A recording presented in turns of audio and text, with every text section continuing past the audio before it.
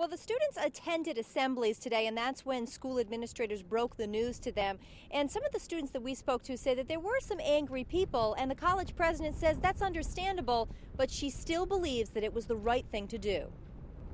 It's a very difficult day. Our students are passionate about their education and about the flight program. But no new students will be able to enroll. Daniel Webster College is suspending its flight program as soon as the 92 students in the program complete their degrees the next couple of years. This particular program, as we looked at the students' investment in terms of their time and in terms of their finance, uh, did really not have a good return on their investment. President Nadine Dowling says the possibility was discussed for a while, even before ITT took over the college, but students never thought it would become a reality. It is a cornerstone of Daniel Webster College. Uh, all of us are used to the aircrafts every day, and no matter what you come here for, sports management or anything, everybody, by the end time they leave, in some way, shape, or form, are shaped by the pilots that come to the schools. I'm actually applying to be uh, orientation leader and everything, so that's something that I'm going to have to deal with with uh, freshmen coming in next year. So uh, we'll see what their reaction to it is. Adam Smith and Daniel Wild are concerned about the impact, but both enrolled in areas of the aviation program that are staying.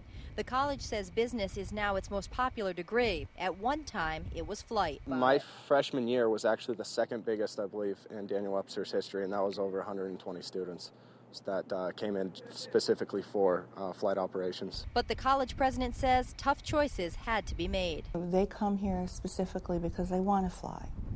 And yet, you have to be a responsible person and think to yourself, but if I graduate the student and they can't find a job, is that appropriate? Now, all flight operations were canceled for the day, but the president says that they will resume as scheduled tomorrow. Reporting live in Nashua, Heather Hamill, WMUR News 9.